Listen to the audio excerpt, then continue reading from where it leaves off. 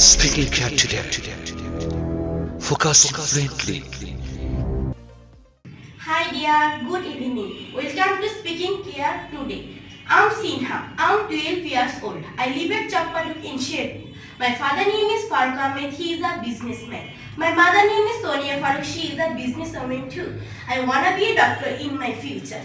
I love my family very much. And that's all. Bye.